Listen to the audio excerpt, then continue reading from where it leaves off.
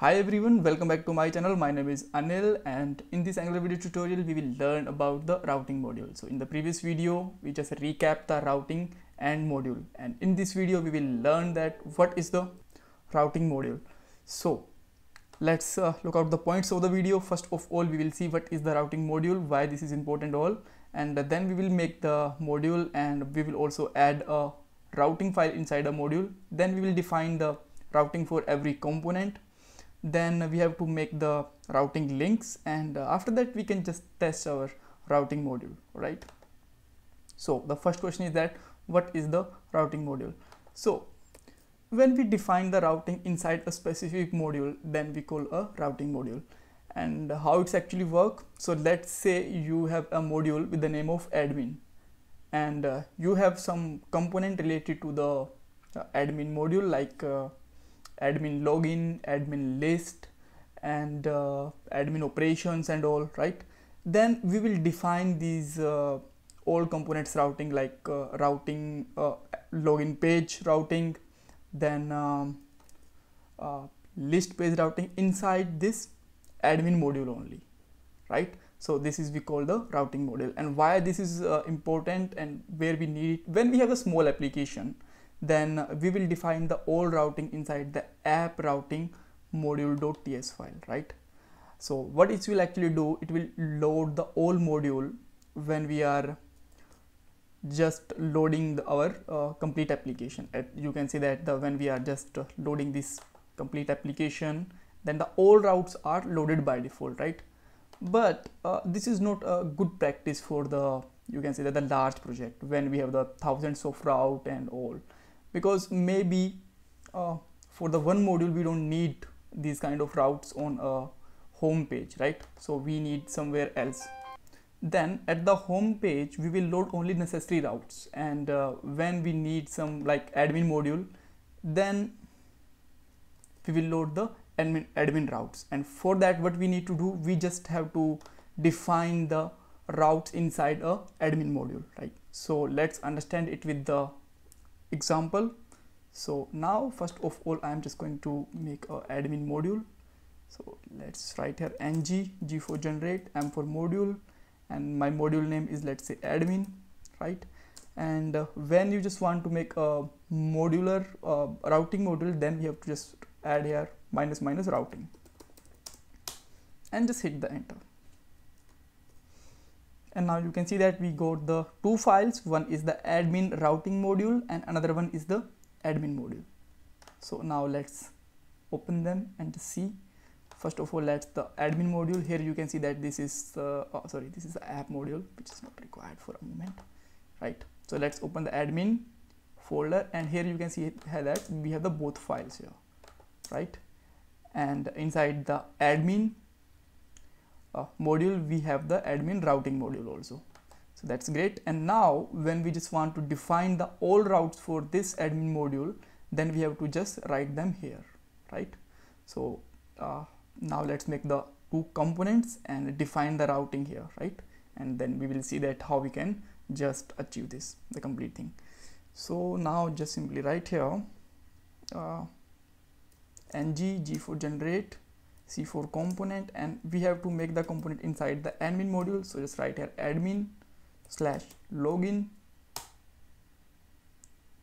And similarly let's say we have let's show the admin list.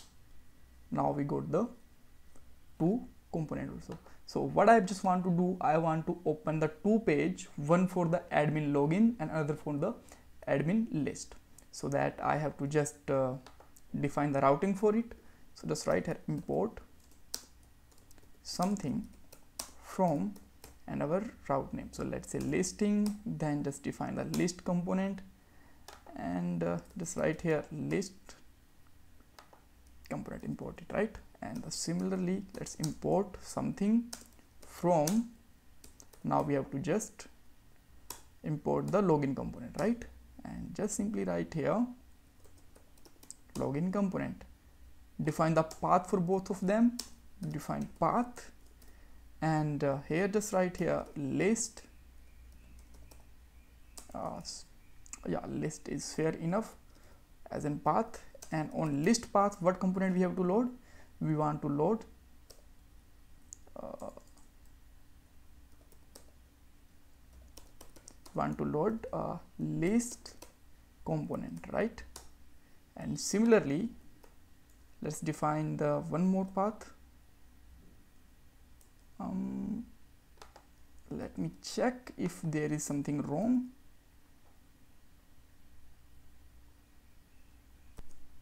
Uh, yes I have to just put here comma as well as the component will be the small right? And similarly we have a small component.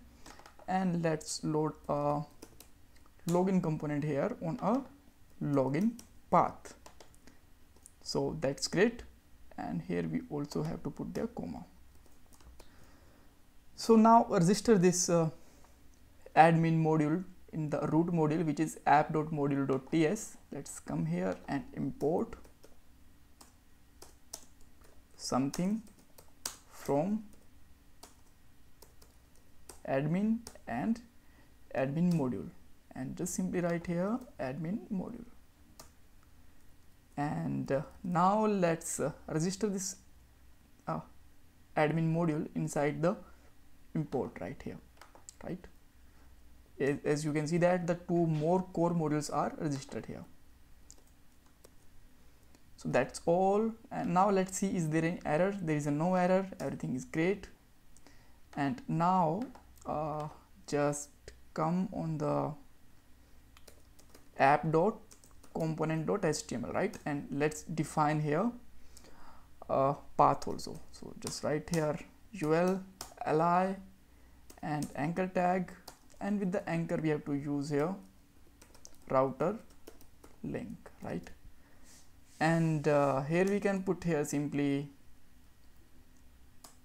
we have to use here equal to path which is login. And uh, let's put here text also so this is my login path for login page. And once more let's define a list page path. Right? And uh, here we have to define here route outlet. Ah my bad. It's router outlet. And let's make it close that's great. Now let's come back here and let's click on the login. When we just log in here then you can see that the login page is loaded here. And list is also loaded on the list path. So both are working fine. So you can see that that this complete is a complete page here. You can just define anything that you want on the login page and similar on the list page right? And this is uh, kind of your nav bar. You can just understand it like this. So that's all for this video. In the next video we will see that how we can just make a, a route grouping. If you still have any kind of confusion you can ask me in the comment box. And don't forget to subscribe my channel and like this video. Bye bye take care